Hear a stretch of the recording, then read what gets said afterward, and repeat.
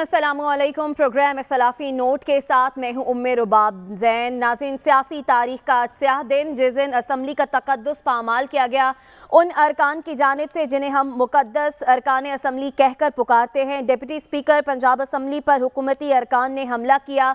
उन पर लोटे फेंके गए, बाल नोचे गए, थप्पड़ मारे गए, जवाबी रद्दमल भी आया। परवेज़ इलाही पर इसके रद्दमल में तशद किया गया। उनका बाजू तोड़ा गया। पुलिस की मुदाखलत हुई। पीटीआई ने बाइकआउट किया लेकिन इस सब के बावजूद हमजा शहबाज वज़ीर अला पंजाब मुंतखब हुए। आज जो, जो कुछ होता रहा असम्बली में इस पर हम बात करेंगे। हमारे साथ तहरीक इंसाफ के रहनुमा फ्याजुल हसन चौहान साहब मौजूद हैं। फ्याजुल हसन चौहान साहब सबसे ज़्यादा ज़िम्मेदारी आप लोगों पर आयद हो रही है कि आप लोगों ने इस इजलास को चलने नहीं दिया। सुबह से शाम हो गई इस इजलास में जो तशद हुआ जो हंगामा आराई हुई उसमें पहल आप लोगों ने की। रहीम ये आपकी इतला बिल्कुल गलत है। जो सूरत हाल खराब हुई थी, उसकी बुनियादी वजह ये थी कि दोस्त मजारी साहब, के जो सरे आम जो है वो बिक चुके थे और हमारे पास उसके प्रूफ और सबूत भी मौजूद थे। वो जब आए तो उन, वो अपने साथ पुलिस के यूनिफॉर्म के साथ हमजा शहबाज ने चीफ सेक्रेटरी और आईजी पंजाब से मिलकर उनको यूनिफॉर्म की पुलिस साथ थी और सादा पुलिस साथ थी। और ये कानून है आइन है कि असम्बली हॉल के अंदर पुलिस जो है वो दाखिल नहीं हो सकती। पाकिस्तान की हिस्ट्री में पहली दफ़ा किसी असम्बली या सेनेट के अंदर पुलिस दाखिल हुई है। इस लम्हे तक तो, तो चौहान साहब इस लम्हे तक तो सूबाई हुकूमत आपके साथ है आईजी पंजाब आपकी इजाज़त के बगैर कैसे आए? मैं पूरी बात कर लूँ। यार मुझे इस तरह मैं असल में मेरा मिजाज है मैं तसल्ली से बात करने का आप बात मुकम्मल कीजिए चौहान साहब। ये पुलिस वालों को अंदर लेकर आए उसके ऊपर इनके अपने जो दोस्त हैं क्लोज हमारे पीटीआई के वो छह सात अरकान उनकी तरफ़ बढ़े तो उसके ऊपर वो पुलिस वालों ने भी उनके साथ हाथापाई की जिसके ऊपर फिर सारा माहौल खराब हुआ। इसके अलावा अच्छा। मुझे आप ये बताएँ कि पाकिस्तान के कौन से आइन और कानून के अंदर लिखा हुआ है? आज एक सौ सतानवे वोटों में से सिर्फ़ एक सौ सतासठ वोट जो है वो नून लीग के थे। बाकी तीस जो है वो लोटे और मुनहरफ अरकान थे। आज तो शर्म से हम सबका डूब कुछ जना सर शर्म से झुक जाना चाहिए और आज मैंने उसके बाद प्रेस कॉन्फ्रेंस की लोटा पकड़ के। साहब आपकी बात दुरुस्त है। लोटे को इज़्ज़त दो। आज के बाद लोटे को अपने सर पे सजाओ।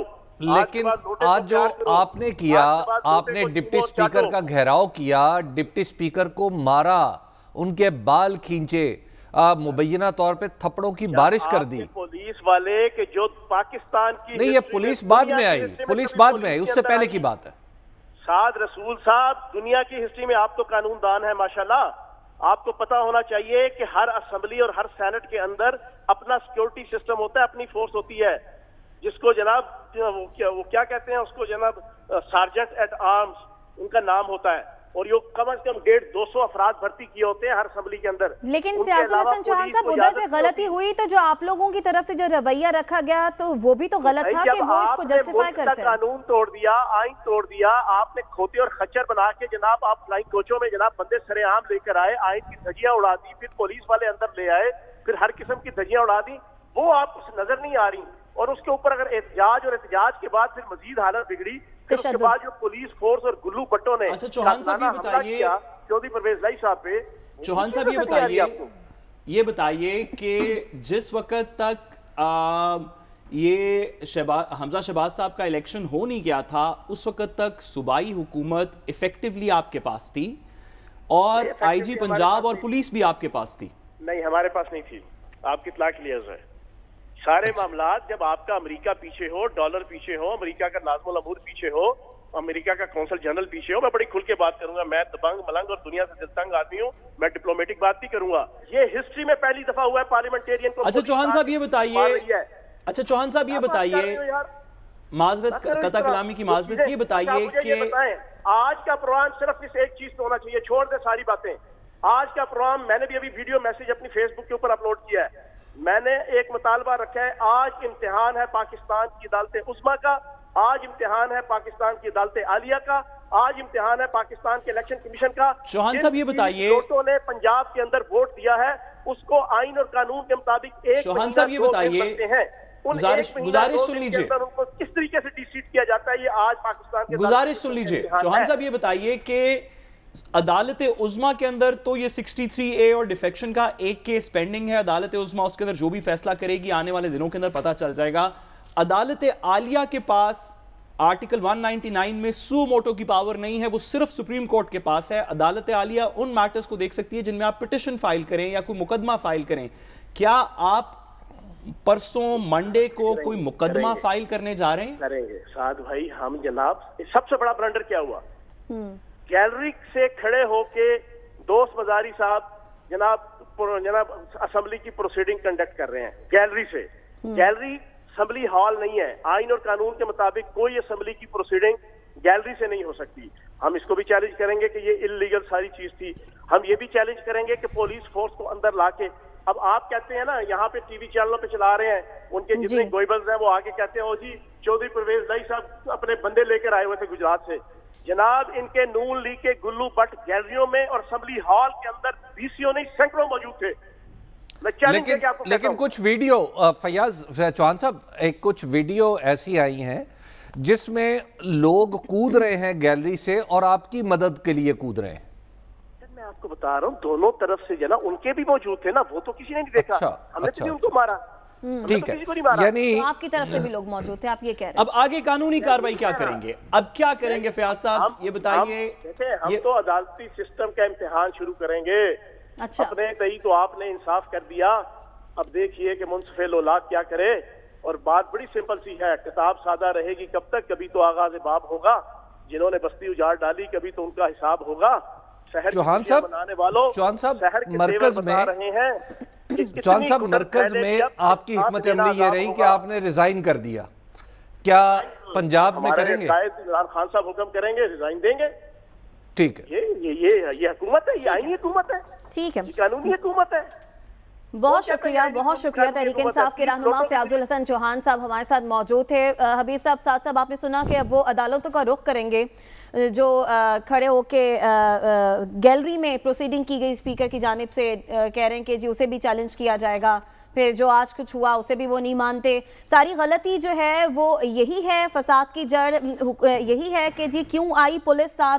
और जो फिर रिएक्शन आया तहरीक इंसाफ के रहनुमाओं की जानब से क्या नहीं आना चाहिए हबीब साहब? और फिर इस पर कानूनी नुकता साथ साहब आपसे जानेंगे लेकिन इस ब्रेक के बाद हमारे साथ रहिएगा। वेलकम बैक नाजिन। हबीब साहब मुंतखब हो गए हैं हमजा शहबाज वज़ीर आला। आज जो कुछ ऐवान में हुआ एक सवाल जो मैंने आपसे करना है अपनी सहाफ़ती तारीख में ऐसा वाक़ जैसा कि आज के दिन हुआ आपने कभी देखा? नहीं मैंने कभी नहीं देखा। मैंने बहुत सारे हंगामे देखे हैं। लेकिन बहरहाल इस तरह का हंगामा कभी नहीं देखा कि इतना बढ़ जाए कि उसमें पुलिस आ जाए हम्म। या स्पीकर के गिर्द घेराव वेराव तो होता रहता है कभी कभार उसके ऊपर उछाल दिए जाते थे कागज़ वगैरह लेकिन ये नहीं देखा लोटे अलबत्ता मैंने आते हुए देखे हैं हम्म। यानी पाकिस्तान मुस्लिम लीग नून के कार जो अरकान थे अच्छा। वो नाइन्टीज़ में एक दो बार ऐसा हुआ था कि खुद लोटे अपने साथ लेके आए थे हम्म। और मंजूर भट्टू साहब के दौर में और वहाँ पर लोटा लोटा के नारे लगते थे अच्छा। फिर लोटों का ढेर लगा दिया जाता था तो ये सारा काम तो हमने देखा है लेकिन इस कदर नहीं देखा कि कोई किसी को मारने पे थप्पड़ या अच्छा। बाल खींचे जैसे आज डिप्टी स्पीकर के साथ हुआ तो ये तो हम्म। नहायत ही गलत है और मेरा ख्याल ये है कि अब देखिए एक गलत कहना हम्म। एक बात को ब्रॉडली मुझे लगता है कि शायद इस वक्त के सहाफत का तकाजा पूरा नहीं होगा हम्म। अगर मैं साथ वो भी ना कहूँ कि किसने गलत किया आप अभी देख रहे हैं कि थोड़ी देर पहले हमारे ही प्रोग्राम में कैसे फयाजुल हसन चौहान साहब उसको डिफेंड कर रहे थे बिल्कुल आज इन दोनों पार्टियों ने क्या किया? इन दोनों पार्टियों ने बाकायदा अपने अपने लोग गैलरीज में दाखिल किए विजिटर के तौर पे। हम्म। और चौधरी परवेज लाई साहब की तो फुटेज भी आ गई है कि वो चलते चलते ऐसे ऐसे दिखा रहे हैं कि बंदे अंदर जाए। अब जो सूरत हाल है अब इसमें जब आप लोगों को गैलरियों में अपनी इमदाद के लिए लाएँगे हम्म। और फिर वो आपके इशारे पे लोग उछल के गैलरी से हॉल के अंदर आ रहे होंगे हम्म। तो आप किसको और मारपीट करने के लिए तो आप बताइए कि इन दोनों जमातों की जमहूरी कमिटमेंट कहाँ रह जाएगी हम्म। एक बात दूसरी बात यह है कि आज ज़्यादा जो ज़िम्मेदारी थी वो चौधरी परवेज लाई साहब की थी चौधरी परवेज लाई साहब की और तहरीक इंसाफ की चौधरी परवेज लाही साहब ने दुरुस्त है। उन्होंने सूबे पे हुकूमत की है। दुरुस्त है वो बड़े शानदार सियासतदान रहे हैं माजी में लेकिन उन्होंने अपनी सारी आबोताब आज खो दी। मेरी राय चौधरी बरदरान की सियासत के बारे में पहले भी कभी अच्छी नहीं रही लेकिन आज उस पर हतमी मोहर लग गई कि पहले मैं जो बातें दबी दबी जबान में कहता था आज उन्होंने साबित कर दिया कि उनका डेमोक्रेसी से उनकी कोई कमिटमेंट नहीं। और ख़ुद वो जमहूरियत की और चौधरी साहब आपको पता है ना कि बिल्कुल ज़िला कौंसिल से लेके यहाँ तक पहुँचे जी। और डिप्टी वज़ीर अजम रहे तो आज जब वो उनके लोग उठें और डिप्टी स्पीकर पे हमला कर दें ये ये मेरा ख्याल है कि ये बहुत ही मतलब बहुत ही काबिल मजम्मत चीज़ है।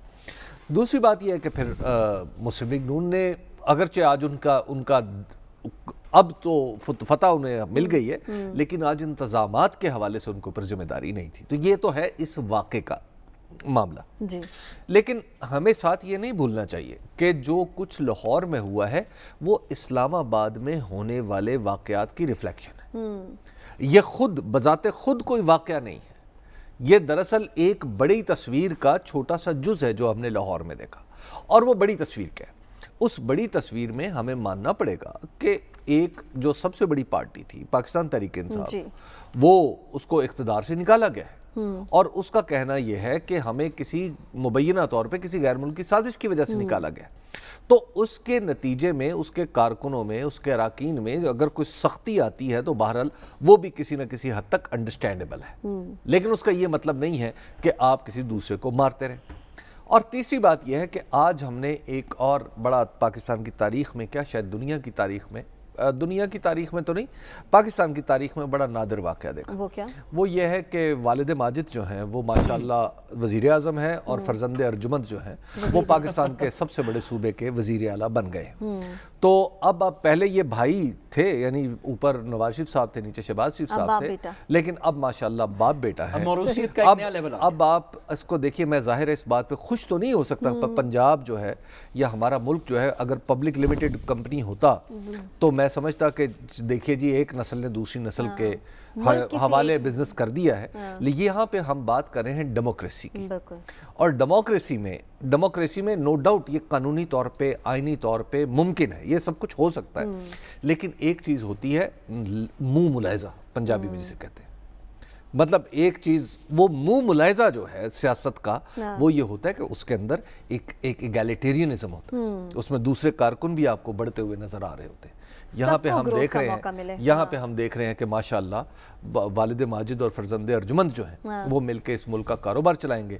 वो अगले दिन कारोबार भी चलाएँगे। अगले दिन बड़ी अच्छी बात वो अजीज़ी ने अपने प्रोग्राम में की। उन वो शहबाज शरीफ साहब बन के आए हुए थे। तो जुनेद सलीम साहब ने उनसे पूछा कि जनाब शहबाज शरीफ साहब अब वो चूँकि वो शहबाज शरीफ साहब आप जो हैं वो आपके साहबजादे जो हैं वो पंजाब में होंगे।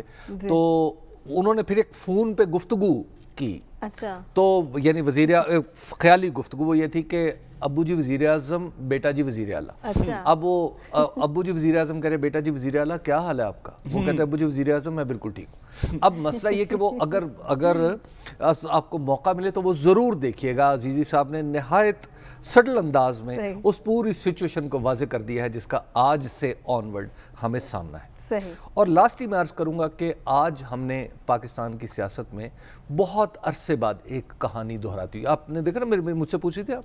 आपकी साफती ज़िंदगी में ऐसा वाक्य हम्म। तो मैंने अर्ज़ किया था कि लोटे भी मैंने देखे, देखे हैं लोटे आप। और आज भी मैंने फिर वही देखे आ, लोटे तो नहीं कहना चाहिए अब ज़ाहिर है ज़मीर जागे हैं। और थोड़ा सा उन्हें कानूनी वो है सहारा भी है। हाँ। उनके लिए कानूनी जवाब भी है। अब आज हमारी जो पंजाब में जो हुकूमत कायम हुई है। हम्म।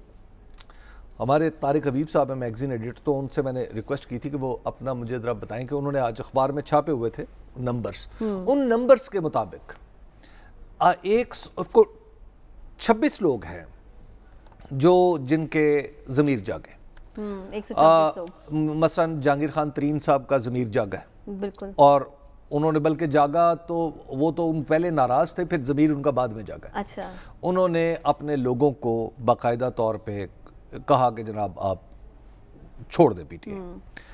अच्छा सुबहान अल्लाह मतलब मैं ये अगर मैं किसी से लीस्ट एक्सपेक्ट करता था तो हाँ। वो जहांगीर खान तरीन साहब थे फिर अलीम खान साहब हम्म। अलीम खान साहब का भी ज़मीर जो है वो काफ़ी देर मतलब उसने लगाई लेकिन, लेकिन वो जागा और अचानक उन्होंने वो हमज़ा शहबाज शरीफ साहब की जो है मैत इख्तियार कर ली ये लफ्स मैत है मैं आइन चूँकि कम बोला जाता है मैं हाँ, हाँ। इसलिए अच्छा तो उनकी मैत में चले गए और फिर उसके बाद असद खोखर साहब हम्म। माशाल्लाह उनका भी नाम लिया गया अच्छा वो कि जी बाकायदा तौर पे वो तशरीफ़ लाए हम्म। उस्मा कारदार साहिबा पाकिस्तान तरीके इंसाफ की बड़ी जैत कारकुन थी हुआ हम्म। करती थी वो भी अपना उन्हें तहरीक इंसाफ ने कहा कि जनाब आप एम पी ए बने हम्म। और आज उनका भी नाम लिया गया तो माशाल्लाह इस पे अब सुबहान अल्लाह सुबहान अल्लाह कहनी चाहिए कि इस असम्बली में जो हुकूमत बनी है हमजा शहबाज शरीफ साहब हमारे वज़ी अला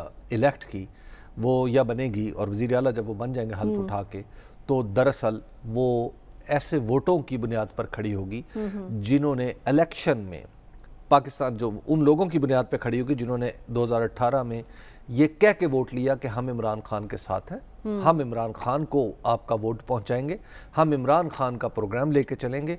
हम मुस्लिम लीग नून की करप्शन के खिलाफ हैं। हम हम्म। पाकिस्तान पीपल्स पार्टी की करप्शन के खिलाफ ये उन्होंने पाँच वादे अपने लोगों से किए थे। ठीक है तो अब यहाँ पे वो उन्होंने वो सारे वादे जो है कम अज कम इसमें से चार चीज़ें तो छोड़ दी ना। हाँ। और वो हमजा साहब की तरफ़ चले गए। और फिर पीपल्स पार्टी ने माशाल्लाह जो कमाल दिखाया हम्म। वो अपनी जगह। तो लिहाजा आपको मुबारक हो।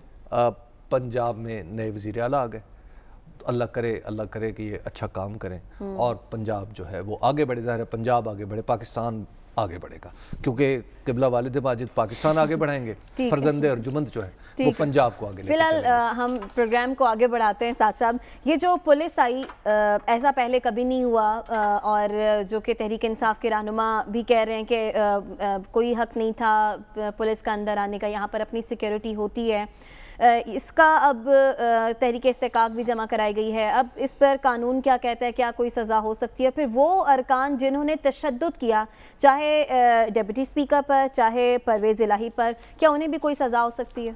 देखिए इनके ऊपर तो सीधी सीधी एफ़ आई आर कटी जा, काटी जाएँगी और और पीपीसी के नीचे इनके खिलाफ एफ़ आई आर काटी जाएँगी। हम्म, हम्म। और उन एफ़ आई आर का पाकिस्तान के दीगर मुकदमात की तरह जिस तरह फैसला होगा जिस तरह फैसला होगा वो हम सब जानते हैं। हम्म। मैं सिर्फ़ इतना कहना चाहता हूँ कि एक बात अब तकरीबन सेटल हो चुकी है कि हम्म। अगर पाकिस्तान मुस्लिम लीग नून पाकिस्तान की ख़ासतौर पर पंजाब की अदालतों से इंसाफ लेना चाहे तो इस मुल्क में कोई ऐसी कुत नहीं जो उनको इंसाफ लेने से नहीं रोक सकती। हम्म। तो ज़रूर इंसाफ किया जाएगा इन पे एफ़ आई आर काटी जाएँगी सब लोगों के ऊपर और उसमें मुस्लिम लीग नून के साथ इंसाफ होगा।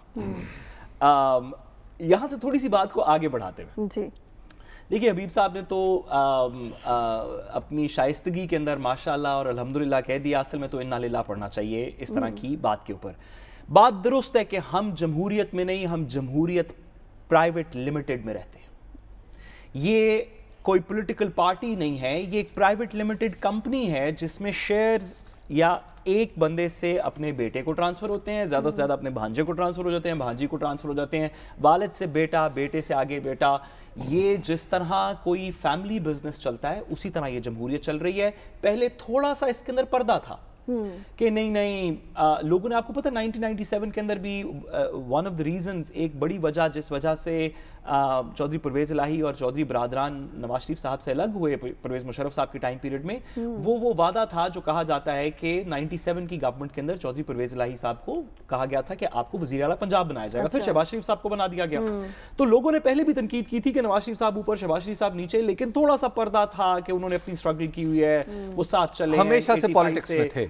हमेशा से पॉलिटिक्स में कटे थे अब वो पर्दा भी खत्म हो गया इस बात को स्टैब्लिश कर दिया गया कि हम डेमोक्रेसी प्राइवेट लिमिटेड में रहते हैं जहाँ पे जमहूरियत और इकतदार बाप से बेटे बेटे से उसके उसके भांजे उससे अगली नस्ल हम्म। को किसी को अगर कुछ और ना मिले तो हम्म। एक नैपकिन की ऊपर चंद सतरें लिख के भी पॉलिटिकल पार्टी इस मुल्क के अंदर ट्रांसफ़र हुई है हम्म। एक कागज़ के ऊपर जो वहीं से कहीं से पकड़ा गया अच्छा। आपको मैं नैपकिन वाली एग्जांपल इसलिए दे रहा हूँ क्योंकि सेकेंड वर्ल्ड वॉर के बाद जब मिडल ईस्ट की डिस्ट्रीब्यूशन होनी थी ना तो विंसन चर्चिल गए क्वीन एलिजबेथ के पास आ, कहा जाता है कि पूछने के लिए कि ये इराक की और जॉर्डन की और दीगर जगहों की तकसीम कैसे की हम्म। जाए तो वो जो खाना खा रही थी ना तो उन्होंने उसी नैपकिन को खाना खाते हुए नैपकिन को टर्न किया और उसके अच्छा। ऊपर नक्शे जो है ना वो थोड़े से ड्रॉ करके सीधे कर दिए और और मिडल ईस्ट की तकसीम इस तरह हुई सेकेंड वर्ल्ड वॉर के बाद पीपल्स पार्टी की ट्रांसफ़र भी तकरीबन इसी तरह हुई थी कि एक कागज़ के ऊपर जो किसी को नहीं पता कि कहाँ से आया हाँ। एक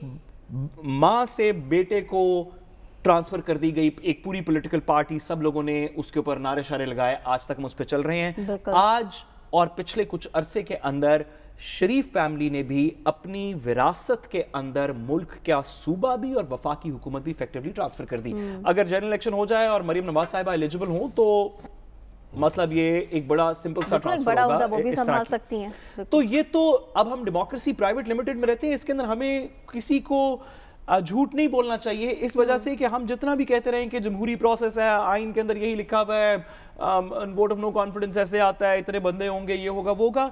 जो सुनने वाले लोग हैं जिनके पास स्मार्टफोन्स मौजूद हैं जो हमसे ज़्यादा अब शऊ रखने वाले लोग हैं उनको ये बात समझ आती है कि जिस तरह एक ठेले वाला अपना ठेला जब बूढ़ा हो जाता है या जब वो काम कर नहीं करता तो या जैसे उसका बेटा जवान होता है उसको दे देता है हम्म। एक फैक्ट्री वाला अपने बेटे को दे देता है उसी तरह हमारे मुल्क के अंदर जमहूरियत भी चल रही है हम्म। दूसरी बात आज के दिन के ऊपर अब एक दफ़ा विंस्टन चर्चिल ने कहा कि the best argument against democracy जमहूरियत के खिलाफ जो सबसे बेहतरीन आर्गुमेंट है खिलाफ it is five minutes with common person जी. अगर आप पाँच मिनट किसी भी कॉमन। शख्स के साथ खड़े हो तो आपको। एहसास होगा कि क्यों उसकी राय पे हाँ। मुल्क नहीं चलना चाहिए।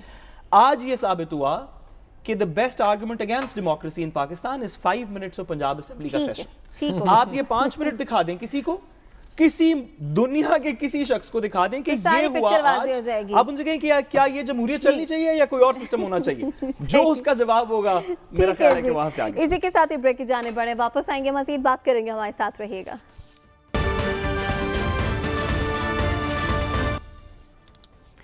Welcome back Nazim. हबीब साहब चले जैसे तैसे करके नई हुकूमत भी बन गई पंजाब के भी नए वज़ीर आला आ गए हुकूमती चैलेंजेस की भी कल हमने प्रोग्राम में बात की। अब हमजा शहबाज को क्या क्या चैलेंजेस जो हैं उनके सामने आएँगे? अब इस हुकूमत को क्या इनके लिए एक प्लान होना चाहिए जिसके तहत ये हुकूमत चले और जितने महीने भी अभी हैं इलेक्शन से पहले पहले एक अपनी अच्छी कारकर्दगी दिखा देखिए जिम्मेदारियाँ क्या क्या होंगी देखिए एक तो हमजा साहब का जो मुकाबला होगा वो इन्हीं के वालिद मोहतरम से होगा। हम्म। कि शहबाज शरीफ साहब चूँकि ज़ाहिर और हमज़ा को जो एक एज हासिल है वो ये है कि ये उस्मान बुजदार के बाद वज़ीर ठीक है ना तो उस्मान बुजदार साहब ने तो माशाल्लाह किया ही कुछ नहीं ना हम्म। तो जब जिस आदमी ने कुछ नहीं किया हुआ तो उसके मुकाबले में जब आप वज़ीर अला हमजा को देखेंगे तो आपको लग, लगेगा कि पूरे का हाँ। पूरा पंजाब एकदम मुतहरक हो गया अच्छा। तो लिहाजा एक तो ये बात आपको लगेगी हम्म। दूसरी बात यह है कि चूँकि उनकी अगर कोई कारकर्दगी थी तो वो इतनी नीचे के नीचे दर्जे की थी या उस के अब जैसे ही हमजा साहब करेंगे हाँ। तो हमजा का एक तजर्बा और एक्सपीरियंस तो है कि पंजाब को चलाने पंजाब को इनफैक्ट बहुत सारा हिस्सा ये काम करते रहे हैं अच्छा। यानी अपने वालिद के साथ मिल के पंजाब के लोगों के साथ पंजाब की जो जो ब्यूरोक्रेसी है उसके साथ मिल के तो लिहाजा इन्हें एक तजर्बा तो है तो हम्म। ये मुतहरक तो कर लेंगे लेकिन उससे भी बड़ा मामला इनका यह है कि मरकज़ से इन्हें क्या मिलेगा हम्म। उसकी वजह कि मरकज़ के पास भी तो कुछ होना चाहिए ना देने के लिए मरकज़ की जो जितनी अच्छी इकॉनमी होगी एक्चुअली उतने ही अच्छे सूबे खुद ब खुद परफॉर्म करना शुरू कर देंगे तो मरकज़ में उनके जो वालिद माजिद का जो चैलेंज है वो है इकॉनमी हम्म। और उसको वो कैसे हल करते हैं किस तरह पैसे पाकिस्तान में और आते हैं और किस तरह फिर वो इन्वेस्ट होते हैं और फिर आगे लगते हैं तो ये तरक्याती काम जब आगे बढ़ेंगे तो ये उनका चैलेंज है। और तीसरी जो सबसे बड़ा चैलेंज यानी ऊपर कबला वालिद वालिद साहब का और नीचे फरजंद अर्जुमंद का दोनों का जो चैलेंज है वो लेजिटमेसी है। हम्म। जिस पे इमरान खान बार बार हमला कर रहे हैं बार बार हमला कर रहे हैं। का जलसा भी आने वाला अच्छा अब अब आप देखिए कि आप पेशावर से शुरू हो जाएँ अब वो कई जलसों की सीरीज़ करते हुए लाहौर आ जाएँगे हम्म। तो वो बार बार इस पे हमला कर रहे हैं कि आप लेजिटिमेट ना वज़ीर अजम हैं ना आप लेजिटिमेट वज़ीर अला। तो लिहाजा एक तो लेजिटमेसी का चैलेंज आ जाएगा दूसरी बात यह है कि इस हुकूमत को अगले दस पंद्रह दिन में वो सारी नालायकी का बोझ उठाना पड़ जाएगा जो इनसे पहले सरसत हुई थी हम्म। मतलब शहबाज शरीफ साहब कितने दिन मजीद बताएँगे हमें कि पुरानी हुकूमत ने ये कर दी बिल्कुल। ये बात सुन सुन के तो लोग हाँ, आज़म से भी थक और हमजा साहब हमें कितनी देर बताएँगे कि पुरानी उस्मान बुजदार ने ये कर दिया। हम्म। ठीक है? अच्छा ये काम जो है ये तो शायद अगले 10-12 दिन में खत्म हो जाएगा। बिल्कुल। ठीक है? फिर लोग सवाल लेकिन दो चीज़ें जारी रहेंगी। हम्म। एक लोगों के सवाल और एक इमरान खान के हमले हम्म, जो लेजिटिमेसी पे होंगे। ये बहुत ही बड़े चैलेंजेस हैं जिनमें जिनको टैकल करना पड़ेगा और आई होप कि ये कर लेंगे। साथ साहब आपको लगता है कि कर लेंगे हमजा शहबाज जो है ये सारे मामला देखिए एडमिनिस्ट्रेटिवली हमने हमने हमें हमेशा से ये पता था या कम अज़ कम पिछले दस एक साल से तो कम अज़ कम पता था कि शहबाज शरीफ साहब की पंजाब में फंक्शनिंग के अंदर हमजा शहबाज साहब इफेक्टिवली एक शैडो प्राइम मिनिस्टर एक शैडो चीफ मिनिस्टर थे जो कि बहुत से काम कर रहे थे। मैं बाय द वे एक उनको थोड़ा सा मशवरा देता जाऊँ कि पिछले चंद दिनों में उन्होंने दूध का दूध और पानी का पानी काफ़ी ज़्यादा दो तीन दफ़ा कहा कि फलाना काम कर लें दूध का दूध पानी का पानी हो हम्म। जाए। लोग इस बात पे काफ़ी जुमले कसते हैं क्योंकि उनका कुछ बिज़नेस भी इस तरह का है। मेहरबानी करके रेफरेंसेस कुछ और इस्तेमाल करें अब जबकि वो चीफ मिनिस्टर बन गए बहुत अरसे से बात चल रही थी कि हमजा शहबाज साहब एक शेडो चीफ मिनिस्टर की तरह ऑपरेट कर रहे हैं तो हो सकता है कि उनकी कारकर्दगी बेहतर हो। लेकिन जो इमरान खान साहब वाले चैलेंजेस हैं जो कि अभी आइंदा आने वाले दिनों में बढ़ते नज़र आ रहे हैं। कल से हम जो सोशल मीडिया पे कराची की फुटेज देख रहे हैं उसको देख लीजिए। अभी आगे लाहौर में ऑलरेडी तलखी हो गई। आज के बाद तो मजीद तलखी है पंजाब बड़ा में गर्म हो गया तो इमरान खान साहब का चैलेंज जो है वो सिर्फ़ हमजा शहबाज साहब का या शहबाज शरीफ साहब का नहीं है। हम्म। वो एक थोड़ा सा बड़ा चैलेंज है। ये बात कि क्या पाकिस्तान के अंदर एक बाहर के मुल्क की ईमा पे एक गवर्नमेंट इंपोर्ट की गई है और मुसलत की गई है क्या इस वजह से लोगों के ज़मीर जागे हैं? क्या लोगों के ज़मीरों को जगाने के लिए कहीं बाहर से या किसी सफारत खाने से से किसी सफारत सफारत खाने से कहीं से फ़ोन आए हैं? ये बातें अब इस मुल्क में दबे अल्फाज में सोशल मीडियाज में ड्राइंग रूम में मैं आपको बताऊँ ड्राइंग रूम्स में नहीं ठेलों पे दुकानों हर में जगह हर जगह पे गली कूचों में बाजारें ये बातें हो रही हैं। तो इमरान खान साहब वाला चैलेंज जो है वो ना शहबाज शरीफ साहब अकेले ख़त्म कर सकते हैं। हम्म। हमजा शहबाज साहब तो बिल्कुल भी अकेले ख़त्म नहीं कर सकते। उसके लिए तमाम पोलिटिकल पार्टीज़ को रियासत की मशीनरी को अदालतों को आ, किसी तरीके इन्वॉल्व होना पड़ेगा। लेकिन मेरा मुसम्म इसमें ख्याल है कि really the only solution the only answer जो कि इमरान खान के चैलेंज को एग्जिस्ट को, को काउंटर कर सकता है या hmm. जो उसका जवाब दे सकता है वो फ्री एंड फेयर इलेक्शन है जितनी जल्दी हो जाएगा उतनी जल्दी पता चल जाएगा कि पब्लिक मैंडेट किसके पास है hmm. और फॉरेन कंस्पिरेसी कौन कर रहा था? ये जल्दी इलेक्शंस कौन नहीं कराना चाहता हबीब साहब? ये जो तमाम जमातों का इकट्ठ है सुनने में आ रहा है कि एक जमात राज़ी है तो दूसरी जमात राज़ी नहीं है। यही यही मसला है या कोई भी नहीं चाहता कि जल्दी इलेक्शन हो? देखिए अब जो इलेक्शन की सूरत हाल है उसमें तो कोई भी नहीं चाहता हम्म। जो सूरत हाल बन गई है। इमरान खान साहब ने जिस अंदाज से जज्बात को भड़का दिया है और हम्म। जिस अंदाज से उन्होंने अपनी इलेक्शन कैंपेन अभी से शुरू कर शुरू दी कर दिया बिल्कुल। तो अभी अगर इलेक्शन करवाए जाएँगे तो उसका ज़ाहिर सीधा सीधा फ़ायदा जो है वो इमरान खान को होगा। हम्म, हो सकता है ना हो लेकिन अभी परसेप्शन जो पॉलिटिकल परसेप्शन हाँ। यही है। और दूसरी बात यह है कि अगर इलेक्शन ही करवाने थे फौरी तौर पे तो फिर ये सारा जोड़ जाड़ करने की जमीर जगाने की क्या ज़रूरत जमीर जगाने की ज़रूरत क्या थी? तो लिहाजा ये जो सारे काम हो रहे हैं हम्म। ये बुनियादी तौर पे इस इस सिस्टम को अगले साल अगस्त तक ले जाने के लिए है। हम्म। और जब ये अगले साल अगस्त तक जाएगा तभी मुमकिन है कोई एक ऐसी जगह आए हम्म। जहाँ पे इमरान खान साहब गलती करें या ठोकर खाएँ। अब जहाँ पे उनकी ठोकर जहाँ पे वो ठोकर खाएँगे हम्म। तो वहाँ पे फिर पॉलिटिकल फ़ायदा उसका उठा लिया जाएगा। अभी कम अज कम ऐसा लग रहा है कि इमरान खान राइज पे हैं। अपोजिशन का ख्याल ये है। सॉरी हम्म। मौजूदा हुकूमत का ख्याल ये है।